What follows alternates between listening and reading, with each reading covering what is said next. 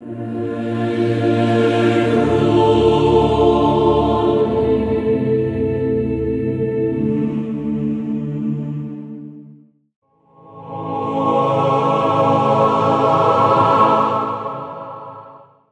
of the corollaries to the principle of non contradiction is that contradictories cannot be present together.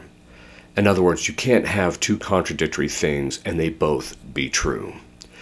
This is really important because today, and we know this intuitively, when people say to things like, well, that's your truth, uh, that's your truth and this is my truth. We know automatically that this is just bogus.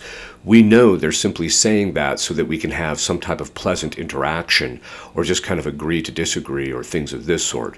When in point in fact, the contradictories cannot be true both both be true if they if they contradict each other.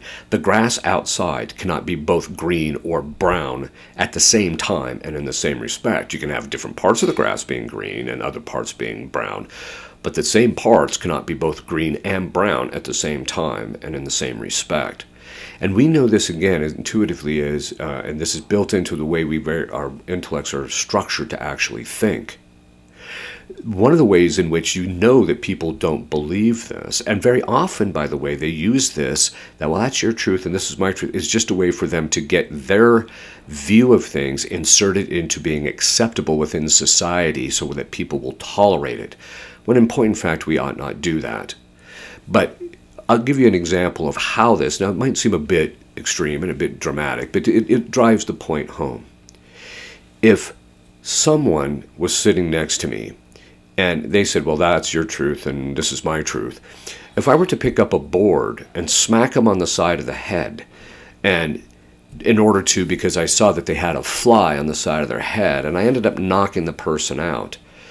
If the person, if the person uh, woke up or came to consciousness and then said to me, "Hey, you knocked me out," I would, I would say, "Well, that's your truth.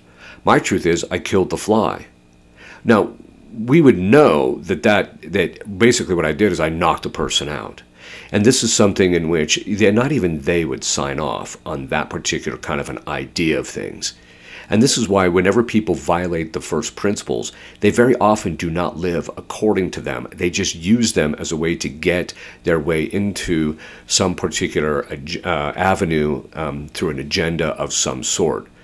And so, this fact that contradictories cannot be present or cannot coexist together is very important because it, it's an indicator that we as human beings know that if one person doesn't hold to what reality is in the same way that you do, then you know someone doesn't see the reality for what it truly is.